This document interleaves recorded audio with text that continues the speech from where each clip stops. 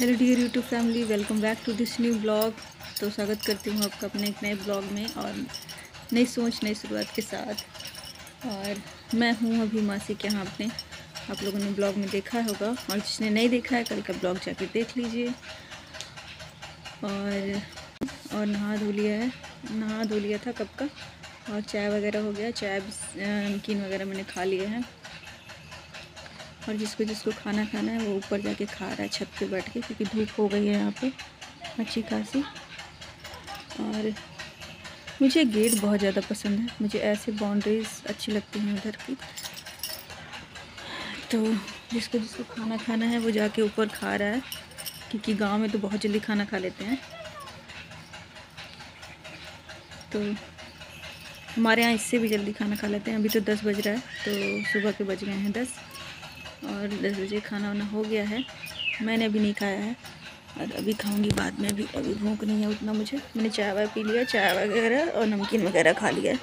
और ये मैंने यहाँ पे सामान पूरा फैला रखा है चारपाई पर, क्योंकि मुझे इसमें तय करना है, सारा सामान रखना है। तो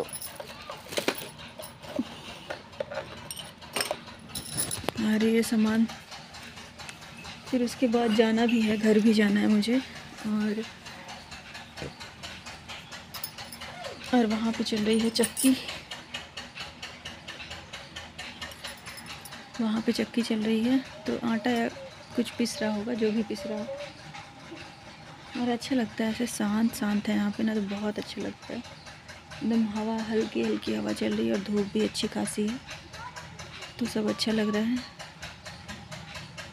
और ज़्यादा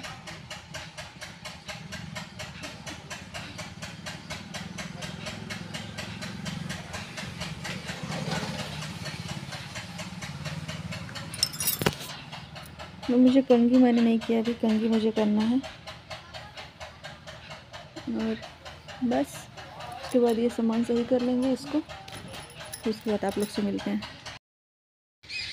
हेलो डियर यूट्यूब फैमिली तो आ गई हूँ मैं अभी छत पे। अभी मासी क्या है?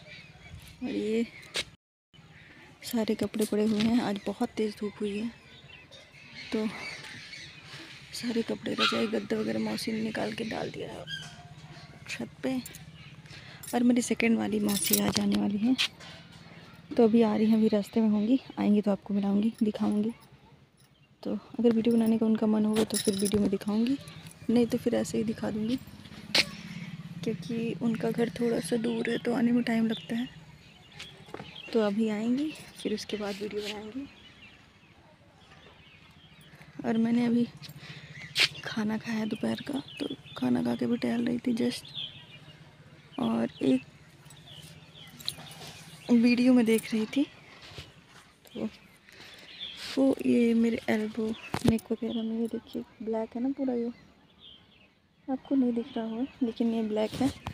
तो वही क्रीम दिखा रहा था उसमें कुछ करके तो चार सौ कुछ या पाँच सौ रुपये की क्रीम थी वो। तो अभी नहीं, लेकिन मैं बाद में लूँगी क्योंकि और लूँगी, यूज़ करूँगी तो आपको बताऊँगी। क्योंकि यहाँ पे और बैक पे, अंडर आर्म्स में और गर्दन के पास ये सब बहुत जगह मतलब ब्लैक होता है।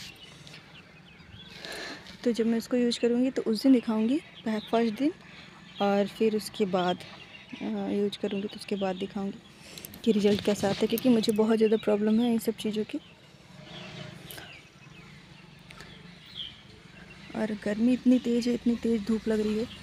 मेरा पूरा दिमाग ख़राब है। बहुत ज़्यादा गर्मी लग रही है। कल तक तो धूप ही नहीं था, आज बहुत ज़्यादा धूप है।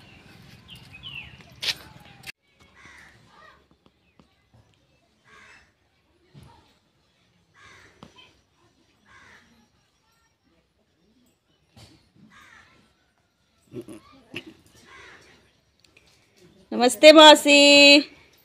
बड़ा डिजाइनदार ब्लाउज पहने हैं। हम कब से इंतज़ार कर रहे थे कि मौसी आज वीडियो बनाई मौसी की।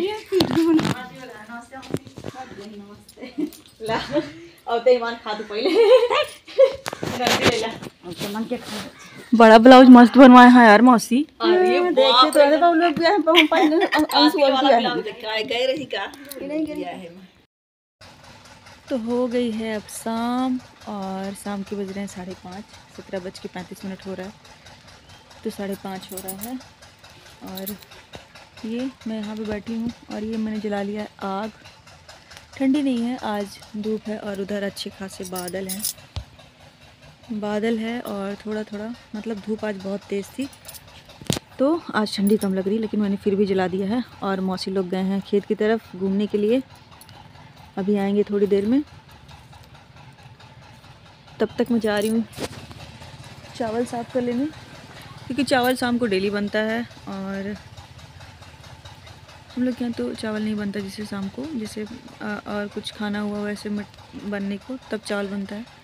लेकिन यहाँ पे चावल कंपलसरी है मतलब दोपहर में भी चावल चाहिए और सुबह में भी और शाम को भी चावल चाहिए। चावल रोटी सब्ज़ी चावल दाल सब्ज़ी चावल आ, के साथ मतलब चावल चाहिए ज़रूर। तो चावल बनेगा, अभी जा रही हूँ थोड़ा सा चावल साफ़ करने। और सोच रही हूँ जल्दी जल्दी खाना बना लूँ ताकि अच्छा रहे, क्योंकि शाम को ठंडी भी पड़ने लगती है तो सोना भी पड़ता है। और ये लोग आ जा रहे हैं, सभी लोग जिसको जिसको जहाँ आना जाना है। और ये पीला पीला सरसों पूरा फूल फूल लगा हुआ है। मुझे बहुत अच्छा लगता है यहाँ पे। और फिर चक्की चल रही है, कुछ पिस रहा है वहाँ पे। तो बहुत अच्छा लग रहा है, बहुत सुकून मिलता है। ऐसे?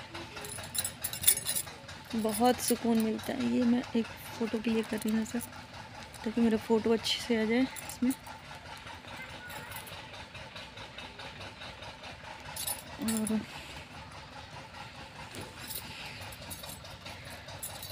और मेरे मौसा जी भी एक साथ खेत की तरफ़ गए हैं, और वो रहा नल। तो भी जा रही हूँ मैं चावल लाने। चावल लेके आऊँ। गेट मैंने बंद कर लिया है, क्योंकि यहाँ पे मोबाइल रखा हुआ है, मौसा जी का हटा देते ये लोग आएँगे तो खाना बनाएँगे। और मैं जा रही हूँ चावल। पहले तो साफ़ कर दूँ, फिर आप लोग से बात करूँ। और मौसी आई थी तो मौसी बहुत सारा सामान लेके आई थी। मूँगफली लाई थी गुड़ की पट्टी लाई थी और समोसा लेके आई थी। और भी और भी पता नहीं क्या हाँ चाट लेके आई थी, यही सब मौसी लेके आई थी, हम लोगों ने खाया। पेट मस्त भरा हुआ है, निकाल लेते हैं चावल। और ये कटोरी से एक, मौसी ने कहा था दो कटोरी साफ़ कर लेना।